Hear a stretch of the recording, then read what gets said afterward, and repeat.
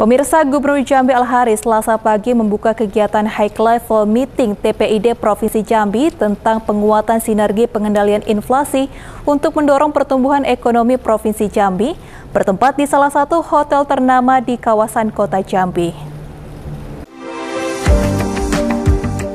Gubernur Jambi Al-Haris harap pemerintah Provinsi Jambi serta Bupati dan Wali Kota seprovinsi Jambi dapat mengendalikan inflasi daerah saat harga komoditi tidak stabil.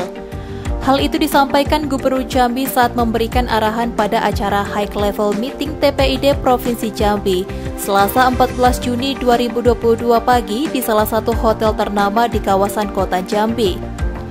Diakui Al-Haris, fluktuasi di Jambi akhir-akhir ini mengalami gangguan, baik di sektor pertanian dan pertambangan yang dapat berpengaruh terhadap pertumbuhan ekonomi Jambi.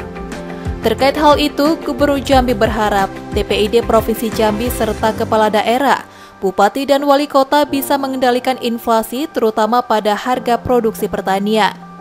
Nah, kita punya tim di semua daerah kabupaten kota.